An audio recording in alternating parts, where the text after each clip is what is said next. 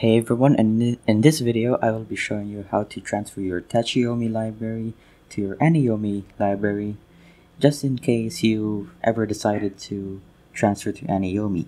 So first of all, obviously you need to get Aniyomi and if you don't if you don't have Tachiyomi right now and you wanted to transfer your Tachiyomi library to Aniyomi, then you're probably uh, you're probably screwed uh, you need to have at you need to have Tachiyomi and Aniyomi at the same time for this to work.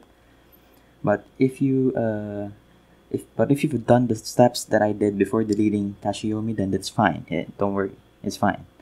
So, anyways, first of all, you gotta get Aniyomi, and go to your uh, preferred browser, which for me is uh, is Google Chrome.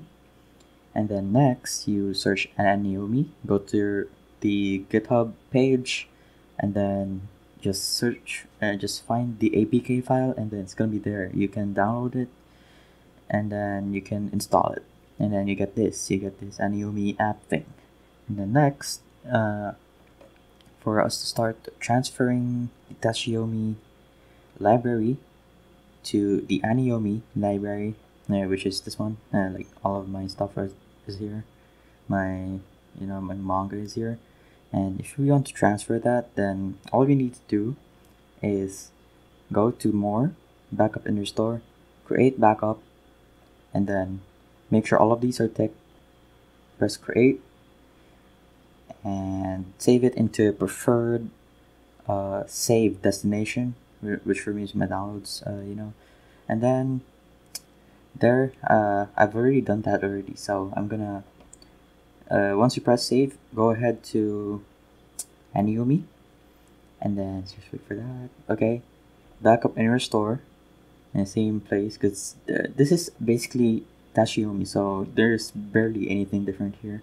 You can just go to more backup and restore, restore backup, and then go ahead and find your uh, Tachiyomi file, which is somewhere around here there it is. This one here. This one is the file that we are looking for. Press open. And then once you press open you'll be greeted by this uh, pop-up. And you need to press restore but I've already done that so I don't have to.